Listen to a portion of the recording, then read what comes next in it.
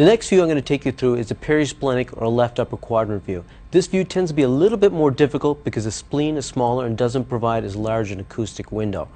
We're going to start again, the patient's going to be supine. This is the probe marker right here. I'm going to go really posterior. My hand is going to touch the gurney.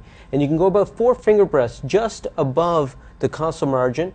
You can, you can identify the kidney. That's going to be a pretty identifiable organ, characteristic bean shape, and we can see it here on the screen. And just above it, we're going to see the spleen.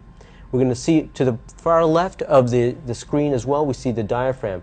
And once you're in this location, you want to carefully pan through the inferior part of the spleen and then jump over that rib and see the superior part of the spleen because fluid often collects just above the spleen and below the diaphragm. Once you identify a good view in the left upper quadrant, you want to do a sweep through that area looking for free fluid.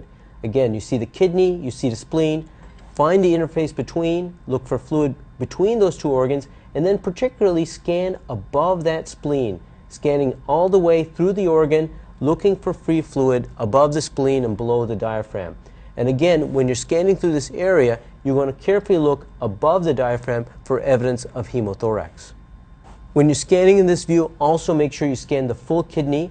And here we see the superior pole to the left of the screen and the inferior pole. You want to make sure you get that full kidney in view when you examine the left upper quadrant.